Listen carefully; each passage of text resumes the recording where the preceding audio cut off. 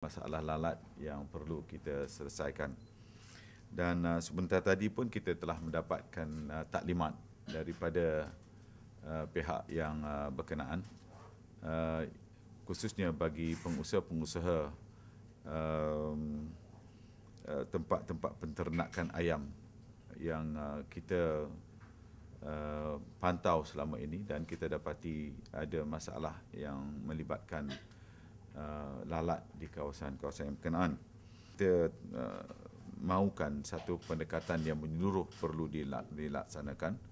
Ini termasuklah uh, dengan menggunakan uh, pendekatan baru iaitu new practice um, iaitu uh, kita telah pun mengarahkan selama ini uh, tempat-tempat uh, penternakan ayam hendaklah digunakan uh, sistem tertutup. Sim apabila kita maksudkan dengan sistem tertutup atau close house, uh, ini bukanlah semata-mata mereka menutup tetapi tidak ada amalan-amalan yang baik ataupun uh, best practices.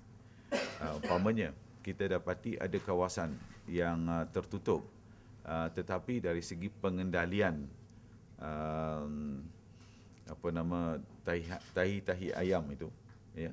Uh, tidak diselenggara dengan begitu baik. Dan um, apabila ianya tidak diselenggara dengan begitu baik uh, menyebabkan uh, lalat-lalat masih lagi uh, bertambah dan uh, menghurung kawasan-kawasan yang berkenaan.